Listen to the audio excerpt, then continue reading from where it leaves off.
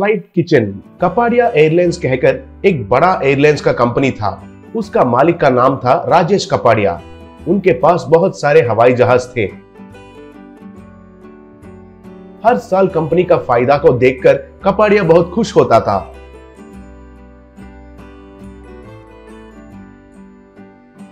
लेकिन कुछ साल के बाद अग्रवाल एयरलाइंस कहकर और एक हवाई जहाज़ का कंपनी मुकाबला के लिए आए थे।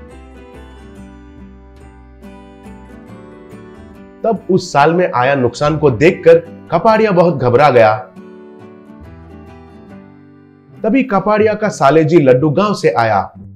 लड्डू जीजा जी मैं आ गया हूँ। क्या हुआ है? हमारा एयरलाइंस नुकसान में चला गया है कहकर सुना। क्यों जीजा? जी मैं कुछ सलाह दूँ क्या? पूछा तब कपाड़िया अरे बाबू तुझे एक प्रणाम। तुम तुरंत इधर से चले जाओ। असल में बहुत टेंशन में हूँ। कहा। तब कपाड़िया की पत्नी ये क्या है जी? घर आए मेहमान को ऐसे अपमान करते हो? ऐसे किया तो मैं नहीं मानूँगी। बोली तब लड्डू। अरे जाने दो दीदी जीजा जी तो कुछ टेंशन में है इसलिए ऐसा बात कर रहे हैं। देखो जीजा जी असल में हमारा कंपनी को नुकसान क्यों हो रहा है ये जानना है तो। हम खुद हमारा हवाई जहाज़ में घूमेंगे तो ही पता चलेगा। तब लोग क्यों नहीं आ रहे हैं वो भी पता चलेगा। एक बार सोच लीजिए कहा तब कपाड़िया को वो सलाह बहुत अच्छा लगा।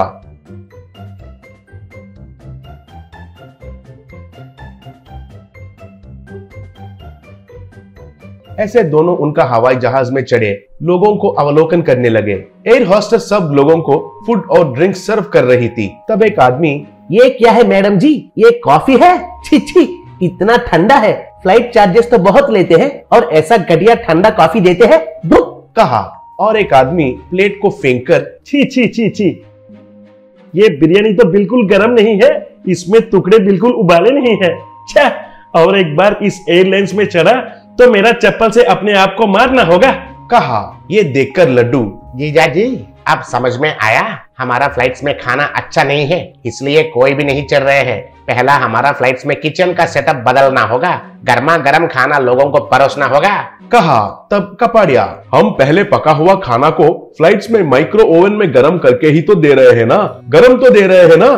कहा, तब लड्डू। वही गलती हो रहा है जीजा जी। लकड़ी के चूल्हे पर मटके में बनाया गया खाने का स्वाद बर्तन में गैस स्टोव के ऊपर पकाएँगे तो मिलेगा क्या? इसलिए अब से हमारा फ्लाइट्स में लाइव किचन का इंतज़ाम करेंगे। हमारा मेनू को फेंक कर लोग जो पूछेंगे, तभी के तभी गर्मा गर्म बना कर देंगे। ऐसा प्रयोग अब तक कोई भी एयरलाइंस कंपनी ने नहीं किया। अब सब कुछ मेरे ऊपर छोड़ दीजिए। सब कुछ मैं देखता हूँ। कहा।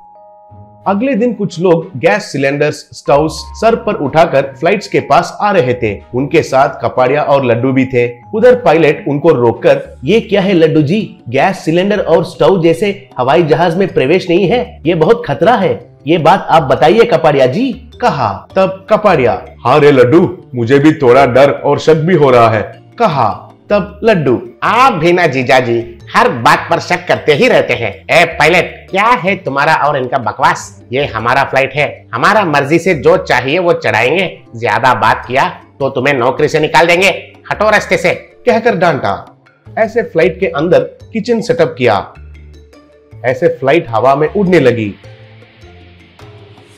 लड्डू यात्रिकों से। कपाड़िया एयरलाइंस में आप सबका स्वागत है। अब से हमारा मेनू में जो है वो नहीं मिलेगा क्योंकि आप जो पूछेंगे वही इधर गर्मा गर्म पका कर खिलाएँगे। पूछिए आपको क्या चाहिए?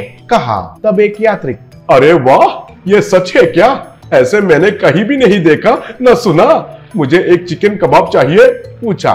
तब एक औरत मुझे गर्मा गर्म चिकन नूडल्स चाहिए। पूछी। एक बच्ची मुझे चिकन मोमोज चाहिए। पूछी एक बच्चा। मुझे हॉट चॉकलेट चाहिए। कहकर पूछा ये सब देखकर कपाड़िया बहुत खुश हुआ।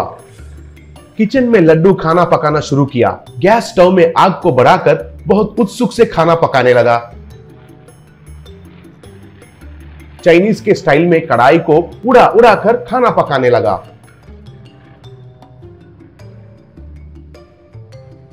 इतने में आग बढ़कर गैस सिलेंडर पर जाकर गिरा। बस वो गैस सिलेंडर फट गया।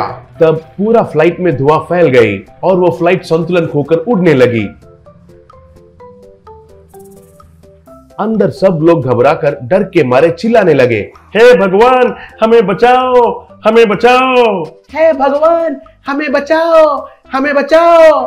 हे hey भगवान हमें बचाओ हमें बचाओ। कहकर चिल्लाने लगे।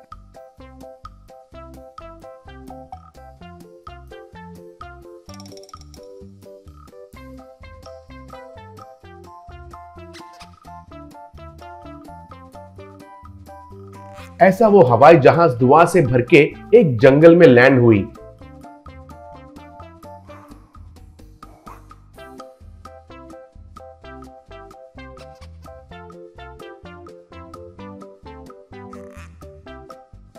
नीचे उतरने के बाद सारे लोग लड्डू को पकड़कर खूब पीटे।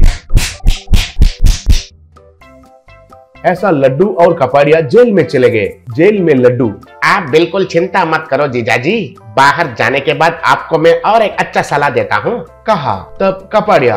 अरे ओ दरिंदर कही का तुम्हारे वजह से मेरा एयरलाइंस का लाइसेंस ही रद्द हो गया है। और 10 साल जेल का सजा भी मिला।